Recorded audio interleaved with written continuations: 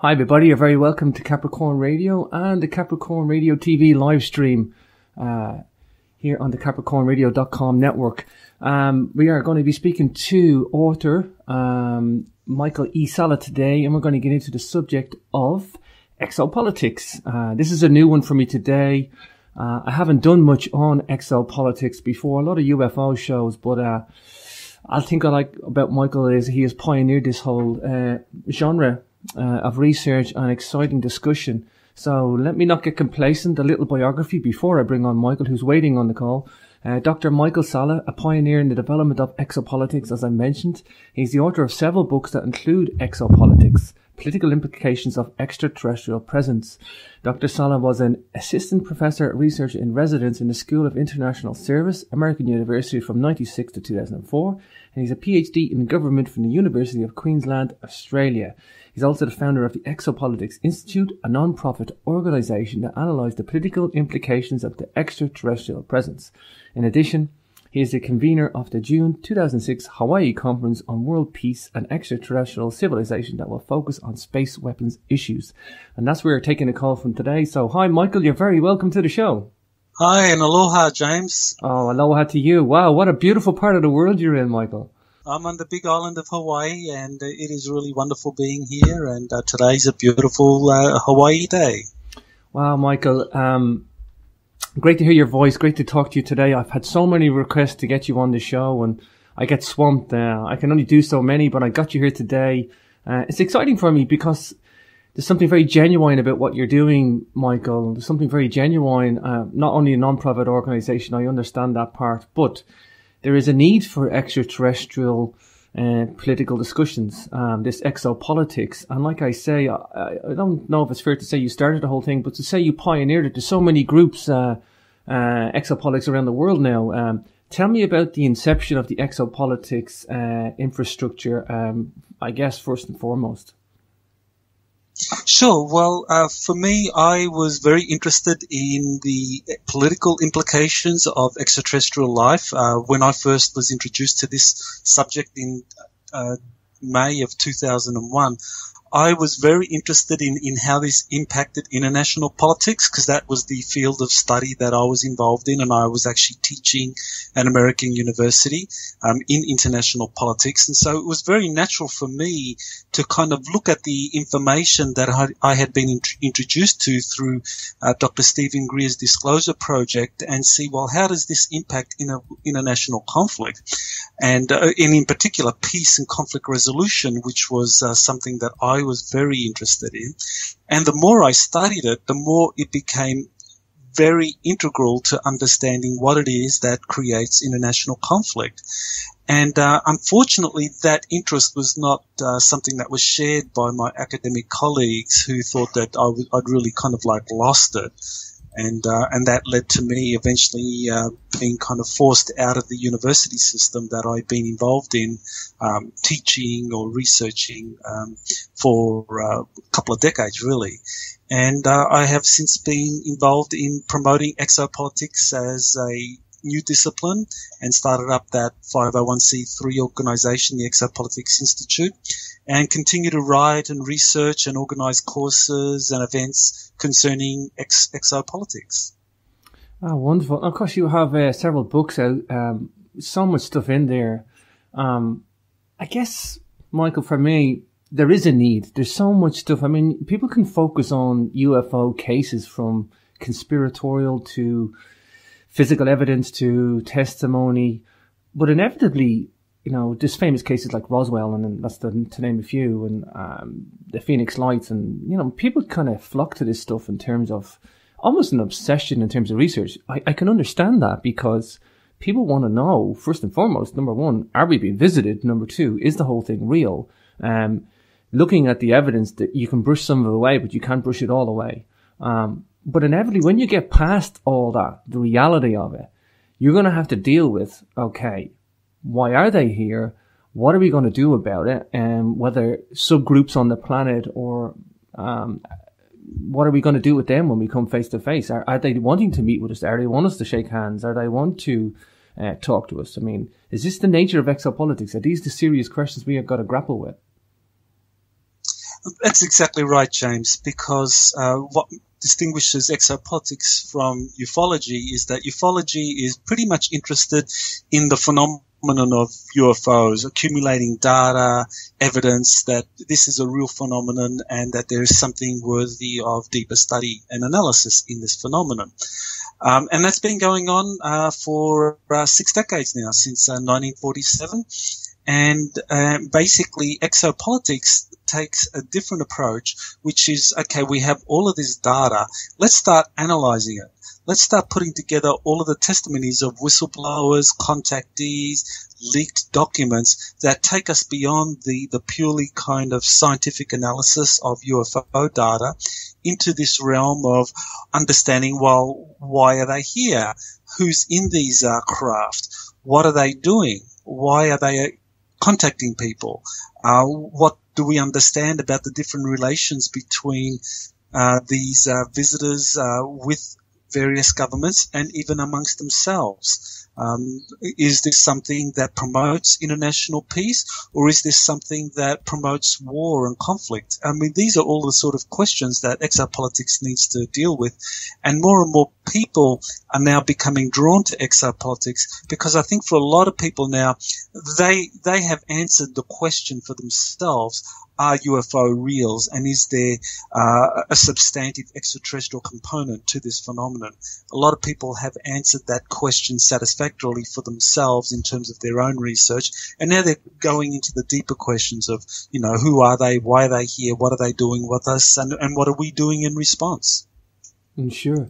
Um, let's let's talk about individual countries. Obviously, exopolitics is a global um, uh, um, that's sprung up in several different countries. Each one has their own. Um, each one has their. Each country has seems to have their own set of subgroups. And yeah, I mean, we can refer to you exopolitics.org uh, to your website, Michael, if people want to see what this is all about. But uh, inevitably, each country has their own mandate. Uh, how they're going to deal with this problem, because uh, it is a problem. I mean, first of all, governments haven't acknowledged to their to their public dominion um, that this stuff is a real. Um, I think they're trying to slowly go through a disclosure process to, to ease the, the, the blow uh, as such. But inevitably, let's talk, for example, UK, USA, Russia, um, three of the big ones. Um, you know, there's going to be a lot of different ways that each country handles um, either disclosure or managing the truth if you want to call it that way, or um, so.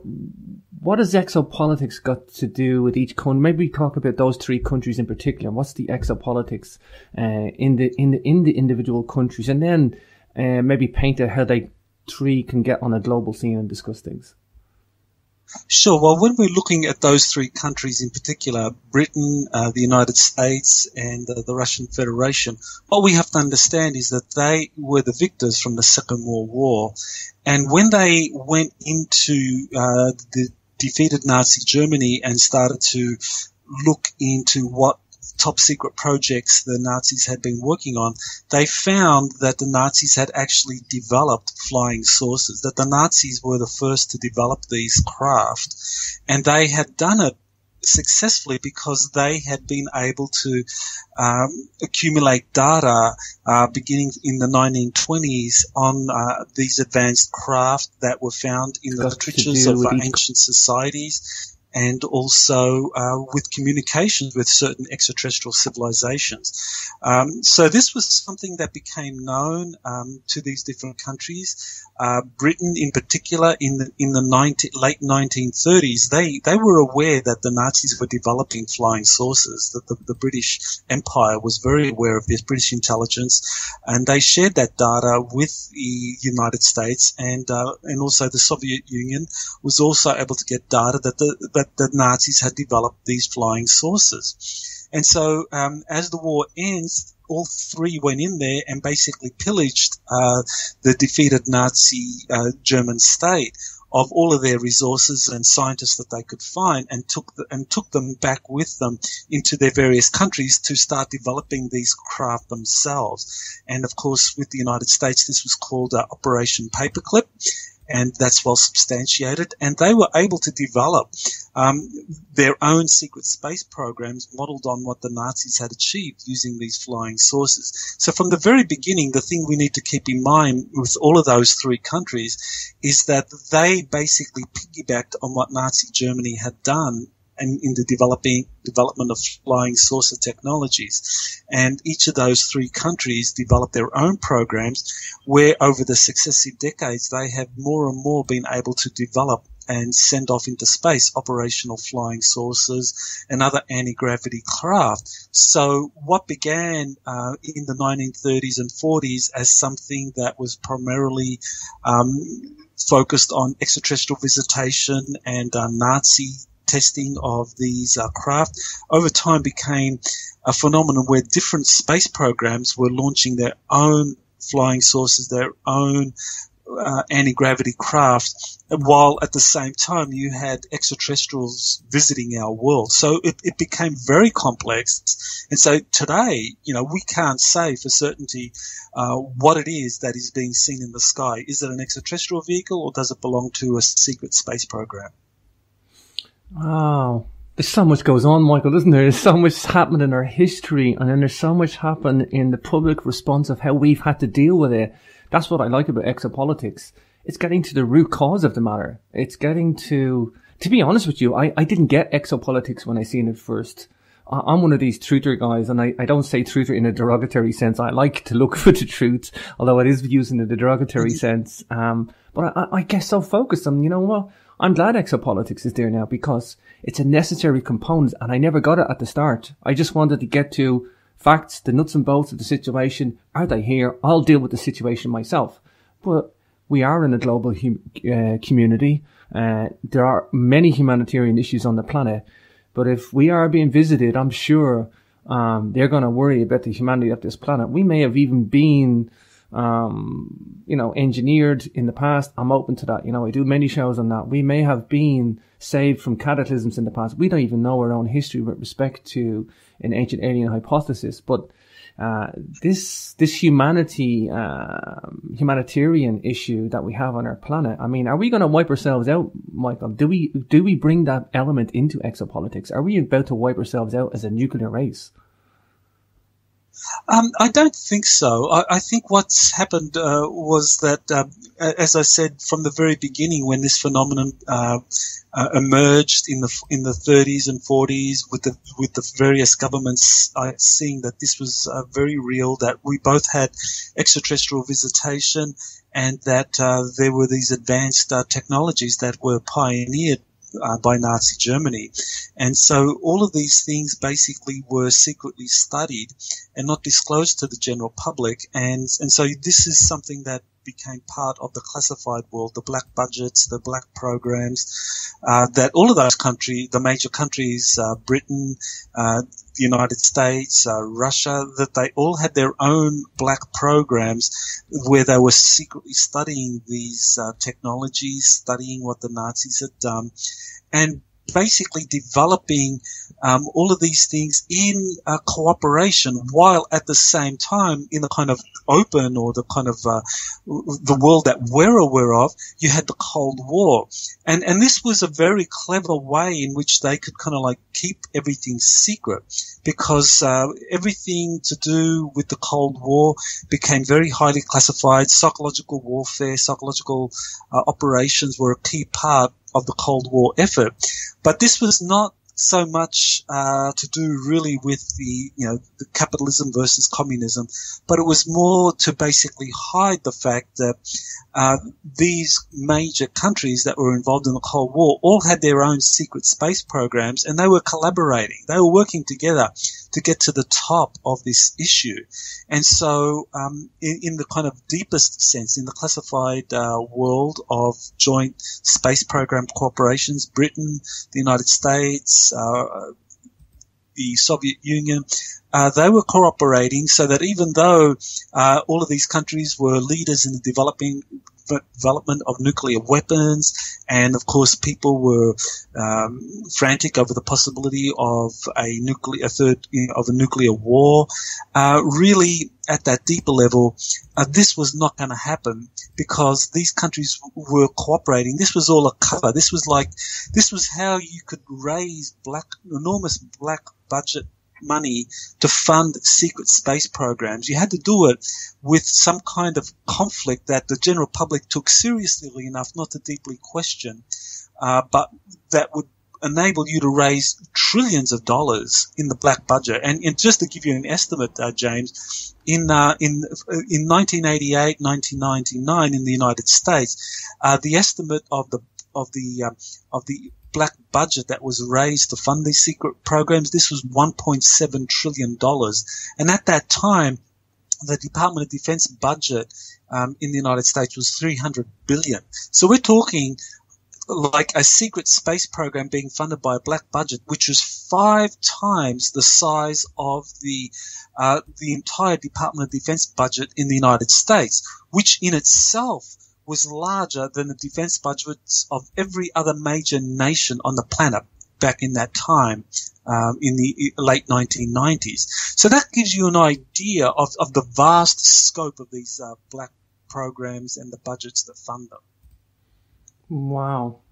It's incredible. The money, the money that's involved in this whole thing. I mean, people don't realize that the the financial uh, monopoly on this, um, you know, the control of humanity, the control of governments, political structures, money that's involved, um, you know, it, it's so interlinked in this whole thing. People just think that UFOs or uh, extraterrestrial activity is just something separate to, it's just something separate that goes on and it's either real or not real. And regardless of even if it's real or not real, it's affecting the planet.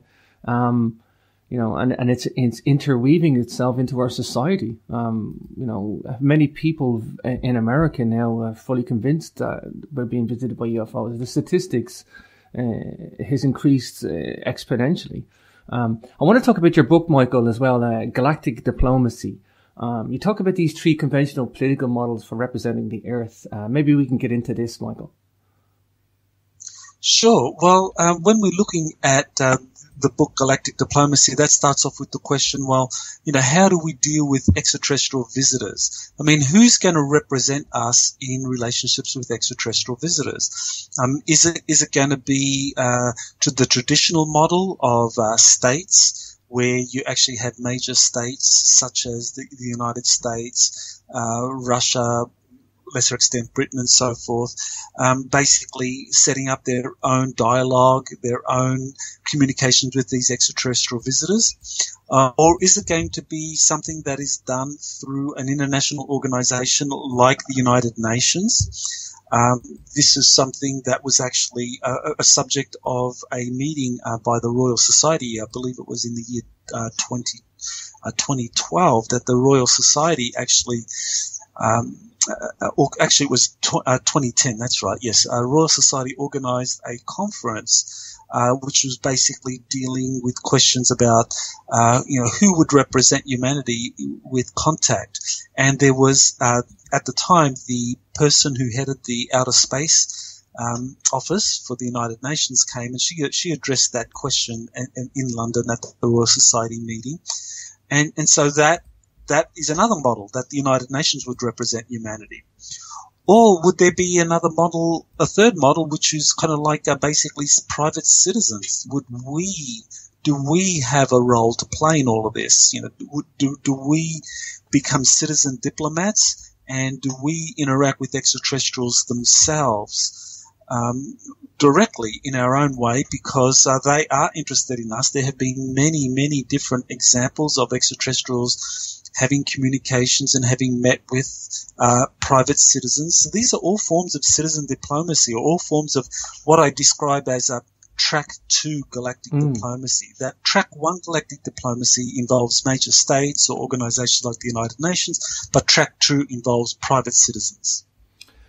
Let's talk about shadow governments as well. I know you get into that in the book. Um, for me, this is the stuff that I actually care about. This is the clandestine, surreptitious, obsequious nature of political organizations that, you know, it's it's the murky background to all this. Um, it, it's an element that's there and it's not going away. I have no doubt, Michael. I have no doubt that they are not going to disclose this unless they have to. No government would. It's not in their interest in any way. The only way they're going to disclose the truth, and I know disclosure goes hand in hand with exopolitics, but this government policy is not going to disclose anything because it's they're going to lose control. They are going to lose control. Um, I don't think it's going to be anarchy, Michael. I don't think it's going to be all out anarchy on the planet. I think people would be kind of somewhat sensible about it. And I think the governments would like to market it as an anarchy problem. Um, but I think for the better part, um, if we knew where we're being visited, uh, I mean, tangible evidence where we were shaking hands with these individuals, uh, in, on the street, like, you know, I think that would certainly change the role of our own position on this planet um, our, our, cosmos would be, would be known to be bigger, if you if you will, Michael, rather than our just our internal problems and our in-house fighting on this little uh, planet Earth. Um, I think that's one of the things. It just basically broadened the perspective of everybody. Um, let's let's talk about the this shadow government aspect. How do we get rid of this? How do we educate people, Michael? How do we bring this into the discussion? Oh well, when you raise the question of the, the shadow government or people describe as the cabal, the Illuminati. You know, we need to think that this is not uh, something new. This is this has been around for really millennia. There's a couple of really good books. Uh, there's there's a William Bramley's The Gods of Eden, mm-hmm. and also Jim Marrs' Rule by Secrecy, uh, which trace uh, this basic lineage, this bloodline uh, that goes back into antiquity, um, thousands of years ago. Uh, we're talking about ruling bloodline families that have had access to information, even secret technology, where they are able to prolong their lives for a long time. Um, so we're talking about people, beings, uh, bloodlines that, that have an extraordinary wealth, extraordinary knowledge, and uh, that they have uh, a lot of experience in controlling the human masses, and and they are very good at manipulating humanity into kind of like um, creating um, war, poverty, disease, uh, which ultimately disempowers us. That makes us kind of very easy for them to manipulate, and this has been going on for such a long time.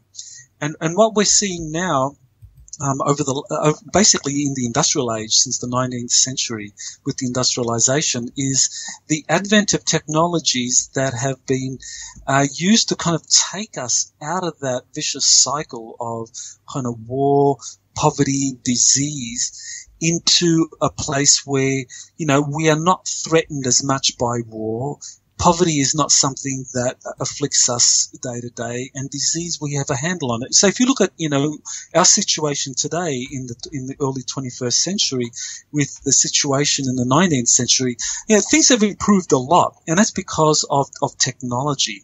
And I think that what we are seeing now uh, with uh, these um, secret space programs mm-hmm. that have been developed uh, since the 30s and 40s, uh, with the advent of extraterrestrial civilizations coming and visiting us, is more and more of these technologies being shared that basically put an end to this vicious cycle of poverty, war, and disease.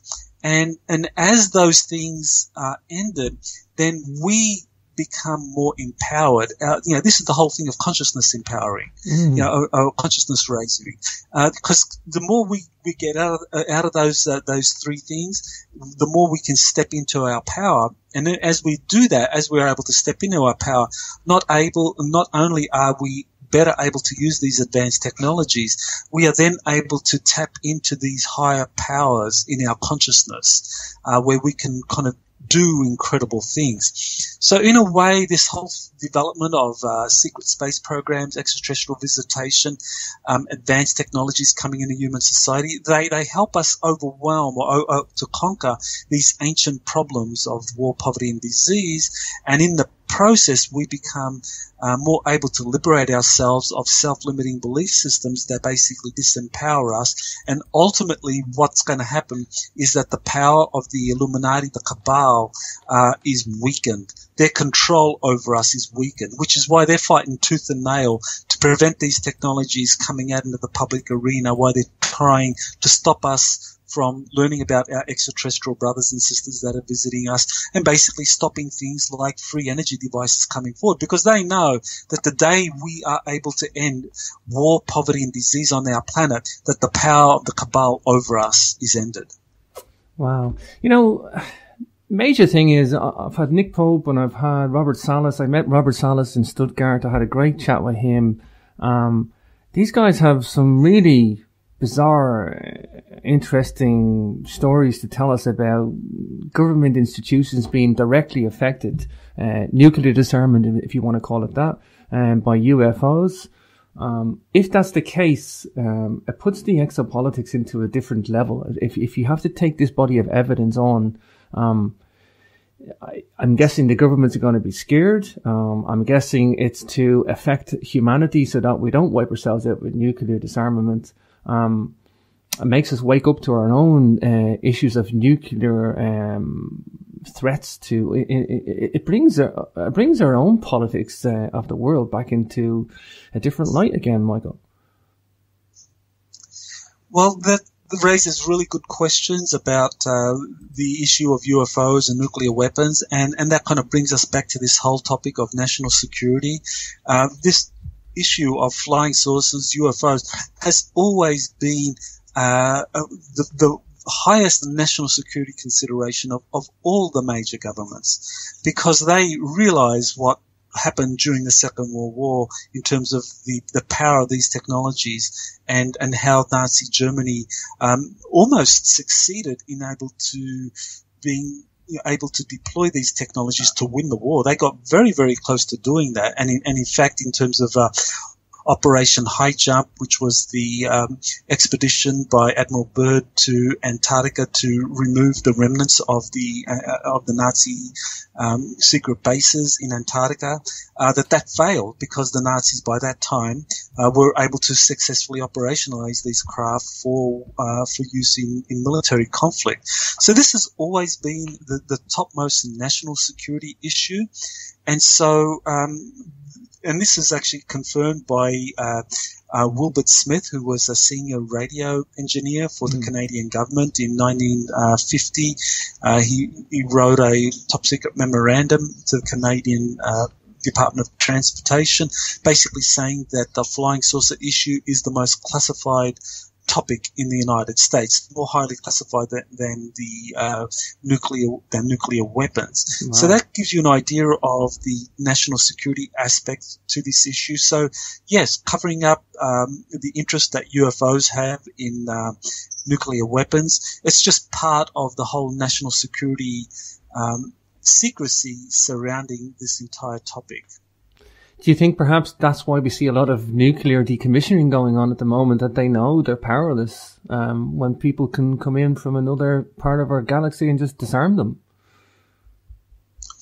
I, I think that that was uh, also a big consideration um, behind the decommissioning. That, these technologies, um, yes, as you said, um, the the data basically shows how the UFOs could basically just appear next to a nuclear silo and disarm all of the weapons, all of the nuclear weapons in there. So it was quite clear that these were not weapons that could ever be successfully used against uh, extraterrestrials because uh, they, they could simply disarm them. Um, at their origin points. Um, if these were weapons ever to be used, they were going to be used e- against uh, humanity. Um, and, but as I said earlier, that the, the secret cooperation between the governments at that highest level uh, was always going to prevent a nuclear war happening between the Soviet Union and the United States and its allies. Mm. Uh, so the decommissioning basically came about because uh, these these were weapons that were kind of not ever going to be used. Uh, they really provided no defense against uh, extraterrestrial uh, visitors. And, uh, and, and the other thing to keep in mind is that there are more powerful weapons that exist. Uh, these are weapons that involve uh, torsion fields uh, that are kind of temporal weapons that basically disrupt space-time. I mean, nuclear weapons disrupt the, the space-time continuum as well, which is part of the reason why uh, extraterrestrials were very interested in them from the beginning. But there are other weapons that are even more destructive um, that uh, are being secretly studied. So, so yes, nuclear weapons in a way is kind of like um, old technology uh, mm. that the, the, major powers like uh, that Russia and the United States see as, as really not having much of a uh, function these days. Just very expensive to maintain. Sure. Uh, Michael, tell me about you personally. I know you're a very learned guy. I'm looking at your qualifications. They're awesome. Um, I know you've got a deep interest in government and politics uh, and humanitarianism. Um, do you have any personal experiences? Uh, is, is, is, why the attraction to exopolitics? Exopolitics? Do you see this as the necessary component, and you're in a position to to be in that driving seat to make this stuff happen? Um, is that is that a fair statement?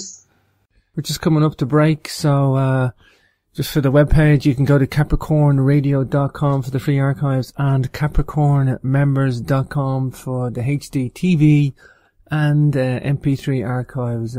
But for now, we're going to take a quick break and we'll be back in just a moment.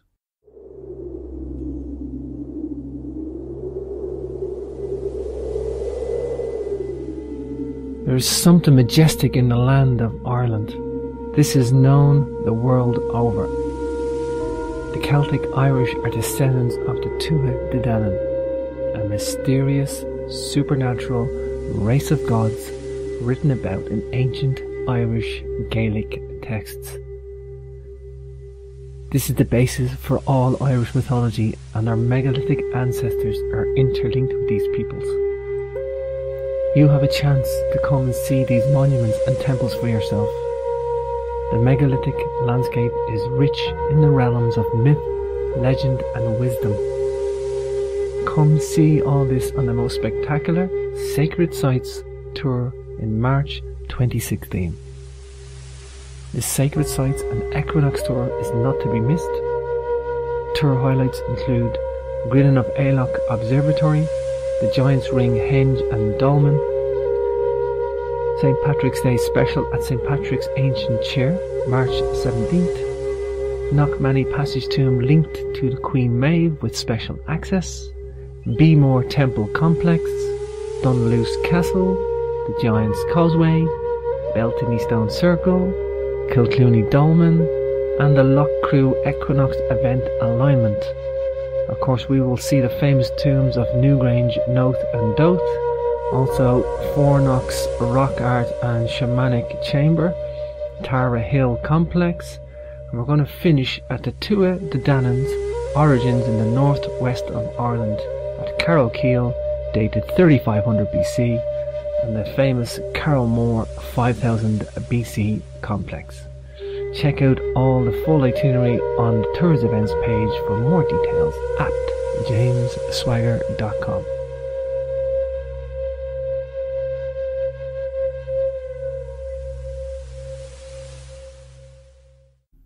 Welcome back to Capricorn Radio. This is your host James and don't forget to check out the archives uh, at capricornmembers.com. You can subscribe for membership, uh, doing a lifetime membership deal at the moment. And uh, of course, you can still check out the free archives at capricornradio.com. And then uh, HDTV uh, shows as well on the Capricorn members page. But for now, um, well, it's it's very interesting. Um, I think it's really just a continuation of, of, of an interest that I've held um, uh, since I began uh, my academic career in 1988-89 uh, uh, when I began doing my PhD in international conflict. I mean, I was looking at what is it that drives international conflict and what is it that we can do to help resolve these conflicts at an international level. And so I did field work and studies in places like East Timor, in Kosovo, Sri Lanka. I was very interested in Kashmir as well. And um, all of these places, and Northern Ireland as well, some, something that also is a, good example of mm-hmm. conflicts. And so I was very interested in conflict and what it is that drives conflict and why these conflicts are so difficult to resolve. And and through my interest in that, I came across uh, the information about extraterrestrial technologies and extraterrestrial visitors and black budgets and secret programs and so forth. And I realized that this was just another layer of conflict because I always uh, always thought that that conflict was a dysfunctional aspect of a functional international system. In other words, that, that international conflict was something that, that was bad, uh, or that, that occurred because, um, th- there were people behind it, um, who were, who were crazies or were do, making poor choices because by and large the international system was functional. You know, we had a United Nations, we had mm international parties to resolve things. But what I realized when I engaged with this information uh, that Dr. Steven Greer disclosed, and as I went deeper into that, I realized that actually international conflict is a functional aspect of a dysfunctional system. In other words, that the international system, rather than actually being harmonious and functional with the United Nations at its core to resolve things, actually is dysfunctional, that it's deliberately designed to manufacture international conflict. And so you actually manufacture these conflicts by having crazy people or having crazy ideological systems basically promoted uh, by these deep black projects because they need that to basically perpetuate international conflict so that they could uh, create the the cover so that they could continue to accumulate vast sums of money for secret programs that are run off the books without anyone knowing what's really going on. Wow, you know, you're coming up to today from Northern Ireland, and it's it's funny, Michael. You know, uh, I've watched the the political process change here dynamically. Uh, we're living in relative peace here uh, considered to what it was about 20, 30 years ago. I mean, this place was like Beirut. It was a nightmare in Northern Ireland. Um, now there's relative peace. People just want to get on about their day to day business, uh, make their money, you know, feed their families. And, uh, I think they're over the past. They know they can't go back and they, and they used politics, uh, eventually they got there. Um, and I see the success of that type of politics, Michael. Uh, I lived with it. I lived through it.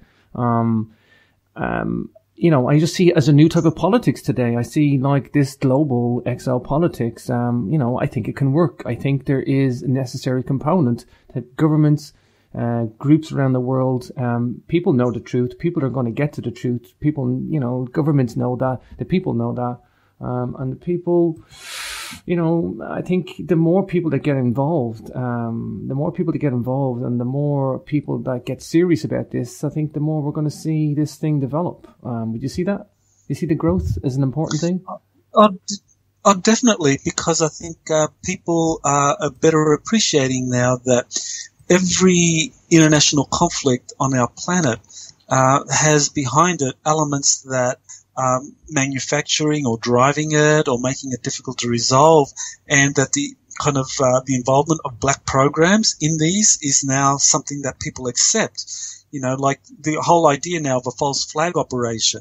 You know, like ten years ago when I first began working in this in this field, you know, very few people were talking about false flag operations. Now, anything that happens, people are saying, "Oh, another false flag operation," and it's because people are being sensitized that international conflict is being driven by these covert entities that are basically manufacturing the conditions for new conflicts. And so for in the Middle East at the moment, ISIS or ISIL. I mean, here it is. This is exactly the, an example of how an organization has been created out of nothing, the same as Al Qaeda before that, mm-hmm. created out of nothing uh, through covert programs that are that are creating these um, these entities so that they can create the conditions for international strife and conflict so that the major powers can go into different areas of the world and basically um, pillage or find access to various or information that is there. One of in in 2003 when uh, the United States and its allies went into uh, Iraq. I mean, that was because they wanted to get access to secret technologies that uh, that uh, Saddam Hussein was able to basically get access to, and he was ready to reveal this to the world. Uh, so they went in there, they manufactured that whole conflict. And so I think a lot of people now are understanding that there are deeper levels of uh, to analyzing these international conflicts, and and at the deepest level is the exopolitical. Sure. Uh, got an interesting question in the chat room from Edward Delaray. Um, I guess it's a double question. Do we have a list of these cabal groups, or is it as simple as royalty is rule, ru- ruling the world? Does it head back down to the royal royal families of the world? I, I think it basically comes down to these ancient bloodlines, and uh, they are very secretive organizations. Uh, they're not necessarily like the royal families, like the, the Windsors and so forth, that, uh, that people kind of identify as, as, as be, being very powerful. You know, in a way, these uh, these royal families are kind of like uh, puppets or useful tools uh, for these bloodline families to basically keep power. Um, so, so they they are doing it all behind the scenes, and that uh, the, the, cabal, the Illuminati, do operate in secrecy. They they don't you know, people that are often associated with the cabal, people like uh, David Rockefeller or Henry Kissinger, you know, these are kind of like uh, really intermediaries. They're, they're useful tools for organizing, um, kind of uh, leading business people or, or political leaders or families or or celebrities and so forth to attend events, you know, whether it's Bilderberg or whether it's uh, um, in in San Francisco, various places where you have these elite gatherings, um, Bohemian Grove, for example. Oh, yeah. uh, but really, these bloodline families, they're the ones that have control and, and they're very secretive and, and very few of them are known publicly. Wow. Uh, let's mention Eisenhower. I know you get into this in the book as well. Uh, uh, Eisenhower's secret meetings with the uh, extraterrestrials. This is incredibly revealing, um, Michael. Yes, well, uh, very interesting uh, that uh, Eisenhower had meetings with extraterrestrials in 1954 and 55. Um, at their many whistleblowers that have come forward to talk about what happened at these meetings. And basically, it said that um, the meetings began with the extraterrestrials being uh, very concerned about uh, the US developing thermonuclear weapons, uh, hydrogen bombs, which were the most destructive form of nuclear weapon, even today, uh, a thousand times more powerful than the bombs dropped on Nagasaki and Hiroshima that, that were fissile uh, or, or, fission nuclear weapons. These uh, fusion nuclear weapons or thermonuclear weapons were just so much more powerful, and the extraterrestrials wanted the US to stop developing that because uh, you know these were destructive not only potentially for humanity but also for the extraterrestrial visitors themselves. Mm. Um, Eisenhower was advised by his advisors not to agree to the requests of the extraterrestrials at that first meeting in 1954 at Edwards Air Force Base, sure. um, and then he had another meeting in, in 1955 at Holloman Air Force Base in New Mexico, where they reached an agreement basically to exchange technologies um, and to give the extraterrestrials uh, certain rights in terms of establishing bases on the Earth and eventually being able to conduct genetic experiments with people. And so that's how you have the whole kind of abduction phenomenon taking off from that early period with Eisenhower. But but Eisenhower um, he he felt that he was betrayed by the people who had advised him to reach these agreements with the extraterrestrial visitors. And by the end of his administration, he was very angry with the Majestic 12 group that were basically the ones that had uh, um, pressured uh, or, or, advised Eisenhower to, to reach these agreements with the, the kind of more negative or, or kind of regressive extraterrestrial groups. And so Eisenhower at the very end, he was very upset with that. And uh, he advised Kennedy. He told Kennedy what had happened because Kennedy also knew a little bit about the uh, extraterrestrial visitors and the uh, involvement of Nazi Germany and all of this. And so um, Eisenhower told Kennedy all about this. And so Kennedy, when he began his uh, term of office, he was uh, very intent on getting control. Sure. Uh, I got another really great question here. Uh, I guess it's a racial question and a political question all in one.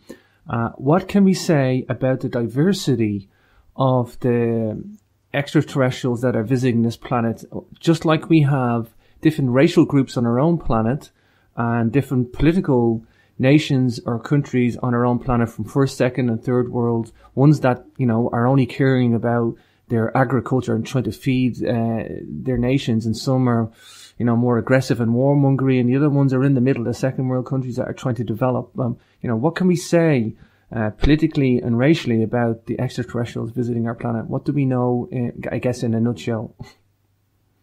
Oh, that's a really good question, James. Uh, what I know, what I've discovered is uh, basically that there are 22 different extraterrestrial civilizations wow. that have seeded humanity with their genetics. Um, and so that means that these 22 different races um, have been monitoring humanity for uh, for hundreds of thousands of years, or however long they've been conducting their their genetic experiments, and um, and this accounts for the different uh, racial subgroups on the planet.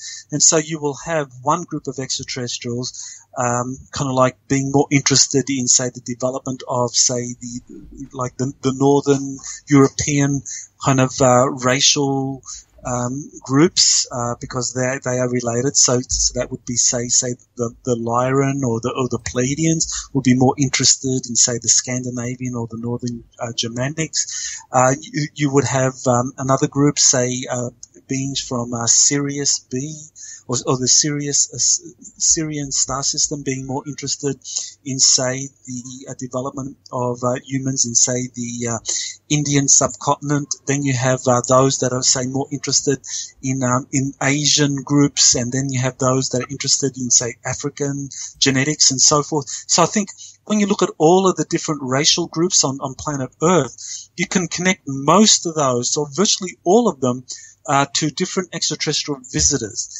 Um, uh, the only exception that I have been told is that uh, in Africa, uh, that there is uh, genetics that is indigenous to the earth. So if we were talking about, you know, who are the indigenous peoples of the planet, we would look at maybe the Africans or certain uh, African subgroups as, as being truly indigenous to the earth. But virtually everyone else has to more or less a greater degree uh, different extraterrestrial genetics as part of their um, DNA.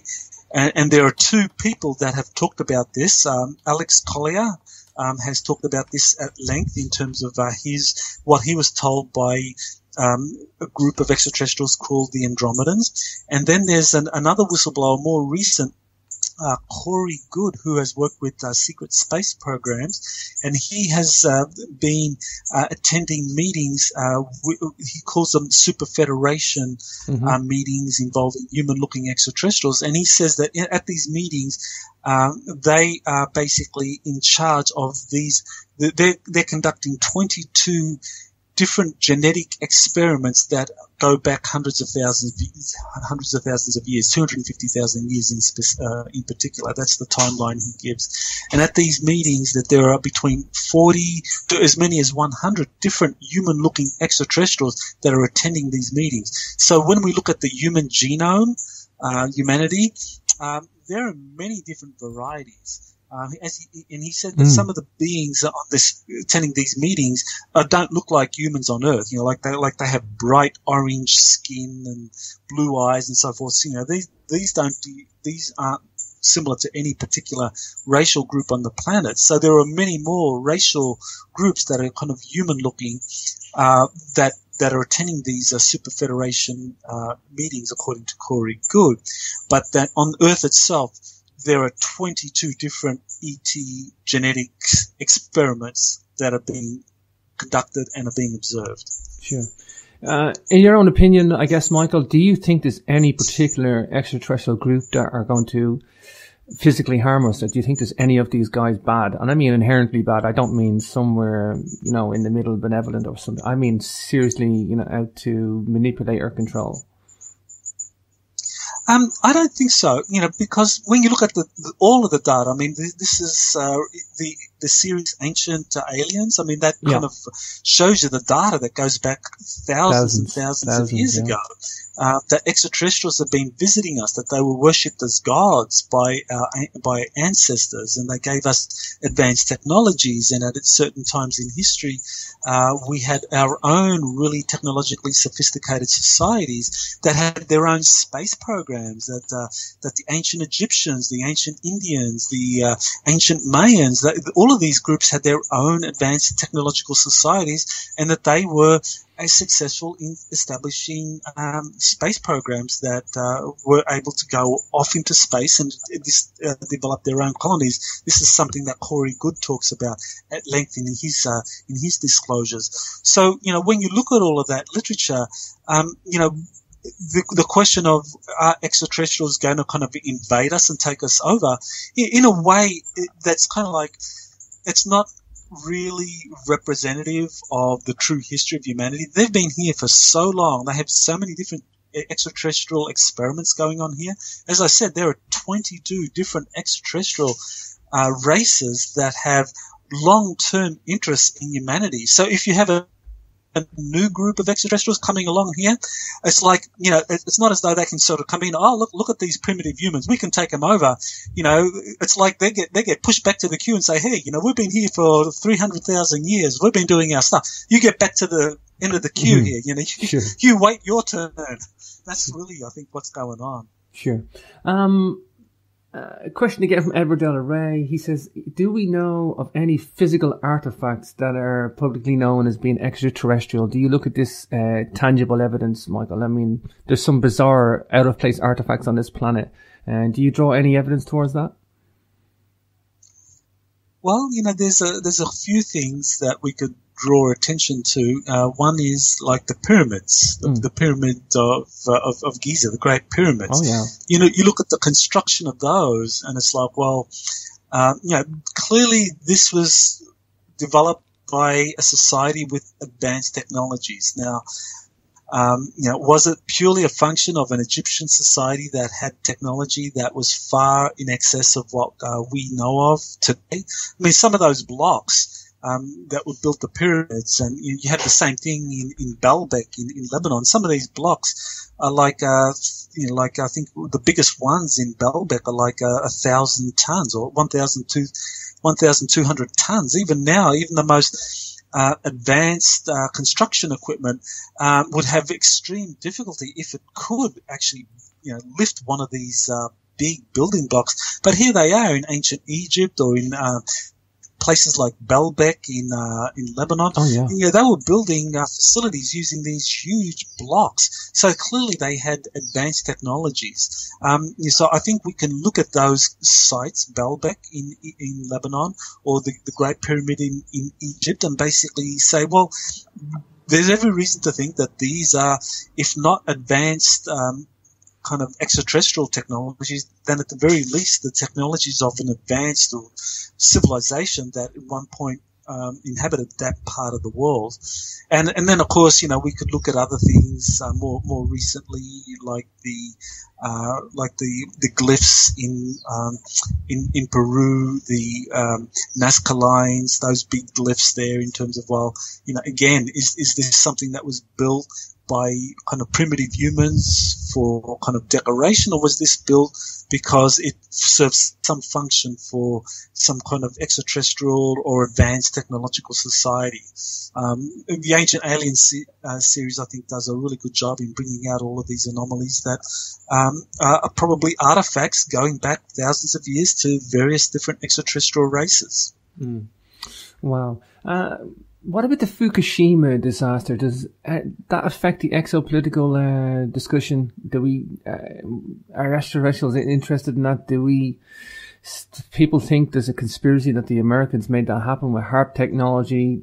I, I, you know, if they had HAARP technology, why wouldn't they create a disaster to topple another country? I've no, I've no issues with that. You know, I'm saying whether that's true or false. Um, but uh, is that an exopolitical argument? Do you, do we see that again? It's nuclear. It's a disaster. Uh, it's going to affect the whole planet. Oh, definitely. Yes. It's very much an exopolitical question because you've got to go beneath the surface level of looking at, well, what, what, what really happened here. And I think there's been some really good research done on showing that this was a manufactured, um, uh, tsunami, um, that, uh, this was really a false flag operation. And, and so once again, we're in this, that issue of false flag operations and a, and a secret government or a kind of, uh, or, or some assets of the cabal, Illuminati, ruling bloodline families, basically orchestrated the the Hiroshima, uh, the the Fukushima crisis mm-hmm. or the, the, the tsunami that basically destroyed the nuclear facilities there. Wanted to put pressure on the Japanese government that was showing signs that it was not going to cooperate any longer in terms of the kind of agenda of the cabal Illuminati that the Japanese government, for one thing, the Japanese government provides enormous amounts of money for the funding of black programs that is run by the Cabal Illuminati in, in their own secret space programs. So that they basically been milking the Japanese for decades. And every Japanese uh, prime minister um, wants to try and kind of cut back on this and try and assert greater Japanese independence from the from these uh, cabal from the shadow government, and um, and and they are kind of like. Uh, shown in no uncertain terms, you know, where the real power is and what can happen. And so Fukushima was really a demonstration to the Japanese leadership saying, look, this is what we can do to you. You're, you're really only a small mm-hmm. island. And if you're not careful, we'll do this we'll, we'll make Japan uninhabitable. If you cooperate with you, with us, then we'll, we'll make sure nothing happens to Japan. And by the way, you know, we'll, we'll, we'll get, we'll, we'll organize it so that you get to have the Olympic Games in 2020. wow. Um, Michael, we're coming up to the top of the hour and the end of the show. We've got five minutes to go. I guess, first of all, just give people out uh, some of the names of your books. You've got many there, uh, and where we can get a copy of them. Sure. Well, you can go to exopolitics.org. That's my uh, main website, exo politics.org, and there you'll find information on all, all the books. Uh, the, the two books that I would really kind of like recommend that are kind of uh, more recent, um, uh, both were all, both came out in, in 2013. One is Galactic Diplomacy. Sure. You've already mentioned that. Yeah. The other is uh, Kennedy's Last Stand, and and that's uh, I think a very important book because it basically goes into how the secret government organized for President Kennedy to be uh, assassinated sure. because he was trying to get access to classified UFO files. So that's something you'll find more information at, at the website, or just go to Amazon.com and just kind of uh, type in my name, and you'll see uh, all my books come up, and you'll see Kennedy's Last Stand there. So yeah, I think uh, that's all they need to do. Just go and I and exopolitics.org. I also have uh, the latest information on this new uh, whistleblower who's recently come forward, uh, um, Corey Goode, who has some incredible information about the secret space program. So I've got a lot of articles and a resource page on exopolitics.org where you can find out more about uh, Corey Goode's uh, testimony. Sure. I think I heard a show with him and David Wilcock on recently. I'm trying to get a hold of the guys to get on the show. So yeah, I'm definitely going to check into that. Actually, Michael, I stayed clear of your book, Kennedy's Last Stand, Eisenhower UFOs, MJ12 and JFK's assassination, because I want you to come back on the show and uh, maybe discuss that book in a not too distant future.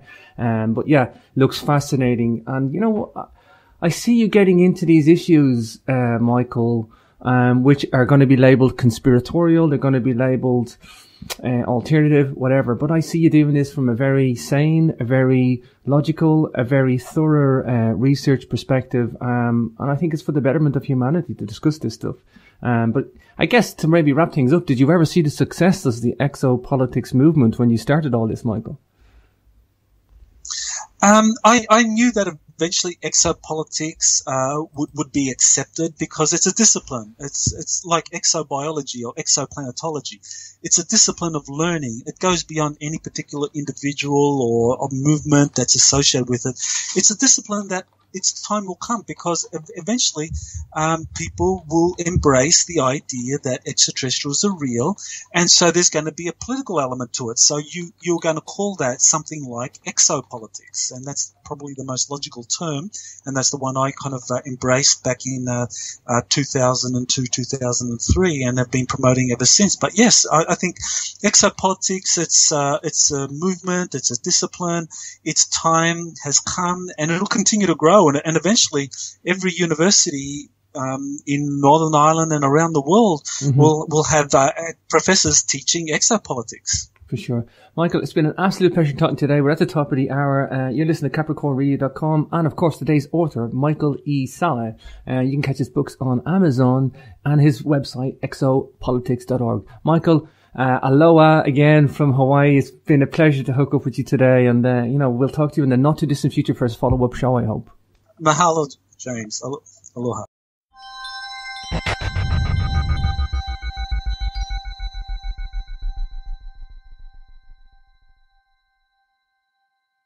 Hi, everybody. You're very welcome to Capricorn Radio and the Capricorn Radio TV live stream uh, here on the CapricornRadio.com network.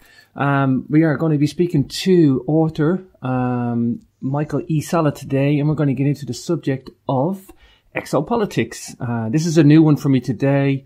Uh, I haven't done much on exopolitics before, a lot of UFO shows, but uh, I think I like about Michael is he has pioneered this whole uh, genre uh, of research and exciting discussion. So let me not get complacent. A little biography before I bring on Michael, who's waiting on the call. Uh, Dr. Michael Salla, a pioneer in the development of exopolitics, as I mentioned. He's the author of several books that include exopolitics, political implications of extraterrestrial presence. Dr. Salla was an assistant professor researcher in residence in the School of International Service, American University from 96 to 2004, and he's a PhD in government from the University of Queensland, Australia. He's also the founder of the Exopolitics Institute, a non-profit organization that analyzes the political implications of the extraterrestrial presence. In addition, he is the convener of the June 2006 Hawaii Conference on World Peace and Extraterrestrial Civilization that will focus on space weapons issues. And that's where we're taking a call from today. So, hi, Michael. You're very welcome to the show. Hi, and aloha, James. Oh, aloha to you. Wow, what a beautiful part of the world you're in, Michael. I'm on the big island of Hawaii, and uh, it is really wonderful being here. And uh, today's a beautiful uh, Hawaii day. Wow, Michael. Um, is that ufology is pretty much interested in the phenomenon of UFOs, accumulating data, evidence that this is a real phenomenon and that there is something worthy of deeper study and analysis in this phenomenon. Um, and that's been going on uh, for uh, six decades now, since 1947. And um, basically, exopolitics takes a different approach, which is okay, we have all of this data. Let's start analyzing it. Let's start putting together all of the testimonies of whistleblowers, contactees, leaked documents that take us beyond the, the purely kind of scientific analysis of UFO data into this realm of understanding, well, why are they here? Who's in these uh, craft? What are they doing? Why are they contacting people? Uh, what do we understand about the different relations between uh, these uh, visitors uh, with various governments and even amongst themselves? Um, is this something that promotes international peace or is this something that promotes war and conflict? I mean, these are all the sort of questions that exopolitics needs to deal with. And more and more people are now becoming drawn to exopolitics because I think for a lot of people now, they, they have answered the question for themselves are UFO reals and is there uh, a substantive extraterrestrial component to this phenomenon? A lot of people have answered that question satisfactorily for themselves in terms of their own research, and now they're going into the deeper questions of, you know, who are they, why are they here, what are they doing with us, and, and what are we doing in response? Mm, sure. Um, it's great to hear your voice. Great to talk to you today. I've had so many requests to get you on the show and I get swamped. Uh, I can only do so many, but I got you here today. Uh, it's exciting for me because there's something very genuine about what you're doing, Michael. There's something very genuine. Uh, not only a non-profit organization, I understand that part, but there is a need for extraterrestrial uh, political discussions, um, this exopolitics. And like I say, I, I, don't know if it's fair to say you started the whole thing, but to say you pioneered it, there's so many groups, uh, uh, exopolitics around the world now. Um, Tell me about the inception of the exopolitics uh, infrastructure, um, I guess, first and foremost. Sure. Well, uh, for me, I was very interested in the political implications of extraterrestrial life uh, when I first was introduced to this subject in uh, May of 2001. I was very interested in, in how this impacted international politics because that was the field of study that I was involved in, and I was actually teaching at American University um, in international politics. And so it was very natural for me to kind of look at the information that I, I had been int- introduced to through uh, Dr. Steven Greer's Disclosure Project and see, well, how does this impact in a, international conflict? And, uh, in particular, peace and conflict resolution, which was uh, something that I was very interested in. And the more I studied it, the more it became very integral to understanding what it is that creates international conflict. And uh, unfortunately, that interest was not uh, something that was shared by my academic colleagues who thought that I w- I'd really kind of like lost it.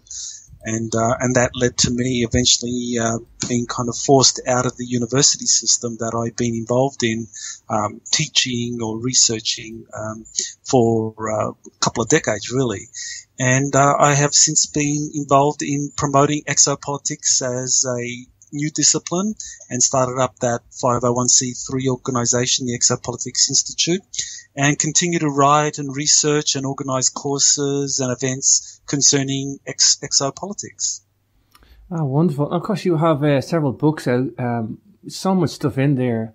Um, I guess, Michael, for me, there is a need. There's so much stuff. I mean, people can focus on UFO cases from conspiratorial to physical evidence to testimony, but inevitably, you know, just famous cases like Roswell, and that's the, to name a few, and um, the Phoenix Lights, and you know, people kind of flock to this stuff in terms of almost an obsession in terms of research. I, I can understand that because people want to know first and foremost. Number one, are we being visited? Number two, is the whole thing real? Um, looking at the evidence that you can brush some of it away, but you can't brush it all away. Um, but inevitably, when you get past all that, the reality of it, you're going to have to deal with, okay, why are they here? What are we going to do about it? And whether subgroups on the planet or, um, what are we going to do with them when we come face to face? Are, are they wanting to meet with us? Are they want us to shake hands? Are they want to uh, talk to us? I mean, is this the nature of exopolitics? Are these the serious questions we have got to grapple with? That's exactly right, James, because uh, what distinguishes exopolitics from ufology. Let's talk about individual countries. Obviously, exopolitics is a global um, uh, phenomena um, that's sprung up in several different countries. Each one has their own. Um, each one has their, each country has seems to have their own set of subgroups. And yeah, I mean, we can refer to you exopolitics.org uh, to your website, Michael, if people want to see what this is all about. But uh, inevitably, each country has their own mandate, uh, how they're going to deal with this problem, because uh, it is a problem. I mean, first of all, governments haven't acknowledged to their to their public dominion um, that this stuff is real. Um, I think they're trying to slowly go through a disclosure process to to ease the the, the blow uh, as such. But inevitably, let's talk, for example, UK, USA. Russia, um, three of the big ones. Um, you know, there's going to be a lot of different ways that each country handles um, either disclosure or managing the truth, if you want to call it that way, or um, so. What has exopolitics got to do with each country? Maybe talk about those three countries in particular. What's the exopolitics uh, in the in the in the individual countries, and then uh, maybe paint out how they three can get on a global scene and discuss things. Sure. Well, when we're looking at those three countries in particular, Britain, uh, the United States, and uh, the Russian Federation, what we have to understand is that they were the victors from the Second World War.